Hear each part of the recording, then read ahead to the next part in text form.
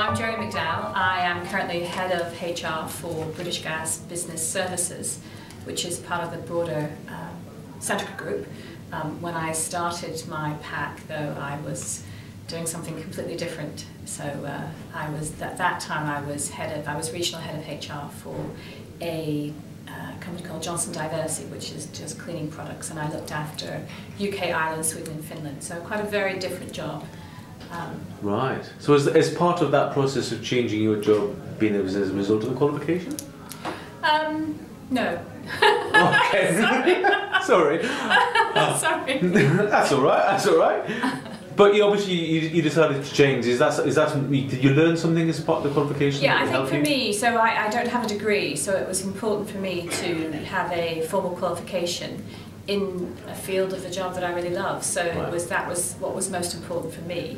And I think for me it was good boost for my own personal confidence that I've got um, uh, knowledge and ability and skill that meets the standard that's required and, and sometimes goes above that. Right. So I think it was good for my own credibility for myself as well as my credibility within the workplace. And how long did it take you to do?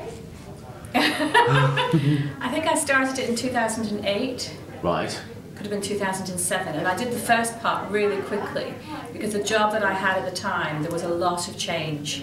And so put a lot of change projects through complete restructures closing down outsourcing insourcing all sorts of things. So it gave me a lot of material that I was able to demonstrate the standards quite clearly in a quite a short period of time. So I did that piece in 18 months and then I, I was going to be made redundant, so I, I changed jobs, and so I changed jobs right. again. That's kind of where I had a bit of a, a blip then. Right. But certainly, uh, Cullen Scholefield had been very good at pushing me to not give it up and to go back and to complete it. Good, which good, is the most good. important. Thing. Yeah, what I was going to say. So, so how, how difficult was it for, for you in terms of life life work balance?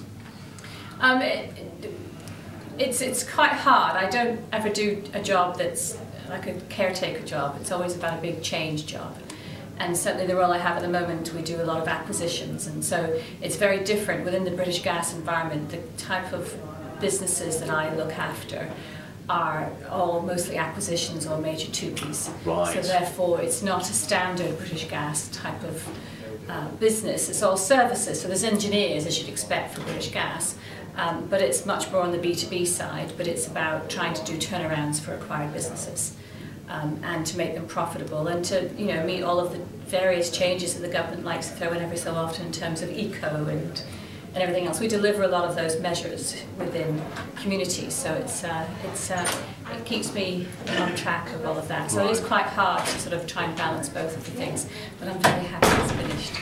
Good, good. I'm sure you are. Why do you actually choose Cullen Scholefield in the first place? Because I know Maureen Scholefield from a million years ago. Oh, right. I used to be in the hotel business.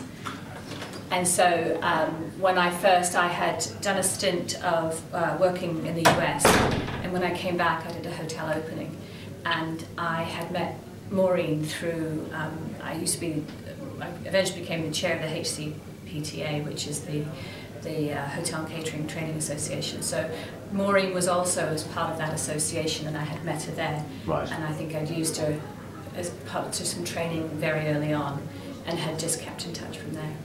Was it a good choice? Oh, absolutely.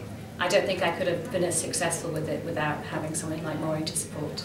So what was the key thing about it that helped you? Um, I think she's very balanced, um, but she's very encouraging. But she also will push you if you need to. She kind of just says, well, just get on with it really and hurry up.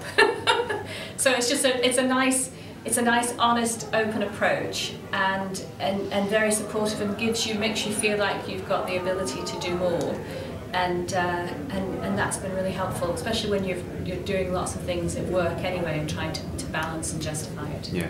What about things like Circle of Peers and the other networking events? Did you enjoy those? Or? I, I did. It's been more difficult. The, the job I have is I have a national footprint, so it's I, I I'm not based in London, so it's quite hard sometimes to get in. Right. Although I live in London, I either work out of Oxford or Staines, but equally I could be in Edinburgh or Newcastle or somewhere else, so that can be quite difficult to try and juggle the diaries. It was easier when I did other roles, when I knew more consistently what my schedule was like. Yes. But I, I, they're quite good. I have I went to the one in the summer, with the champagne. I could not really. Um, um, but I haven't been to one for a while, so it's uh, but it's something I need to start up again and make the effort to do. So you've had a couple of different roles. Who would you who would you recommend this qualification for? I- I've actually recommended it for one of my team. So I, um, I have one of my team. He's based up in, uh, he lives in Stockport, but he's based out of Rotherham mostly. Um, and he has never done a professional CIPD or anything else. And again, just wants to have that level of confidence, a credit, you know, to a Yes. stamp, you say an approval, stamp of approval that actually knows what he's talking about. So he's, you know, he's a, he reports into me, but he's one of my team, and I've been pushing him for the last couple of years to make the commitment to do it. But I, ha- he, I think he actually has had a conversation.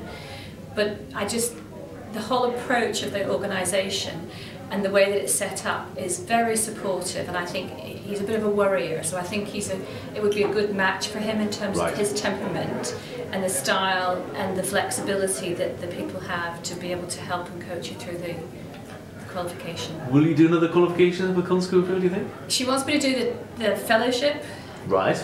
so I think I will.